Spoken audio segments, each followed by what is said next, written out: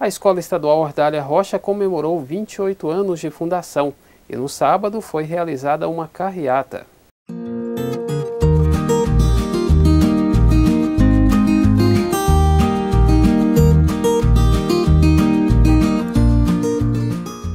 As comemorações foram realizadas na manhã do último sábado, com uma carreata pelas ruas do bairro Catolina. Comemoramos com uma carreata, né, com a equipe toda e convidamos também alguns pais a estarem participando.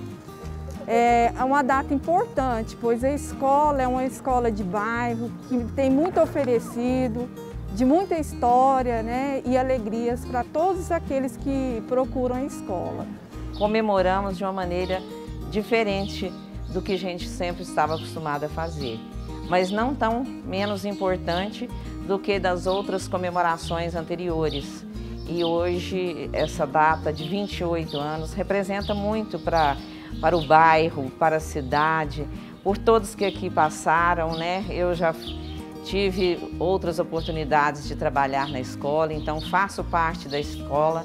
Nós tentamos fazer de uma maneira que os nossos alunos, pais e a comunidade do nosso bairro é, vivenciassem também um pouquinho, a gente passando pela porta deles com a nossa carreata, trazendo um pouquinho de aconchego, né?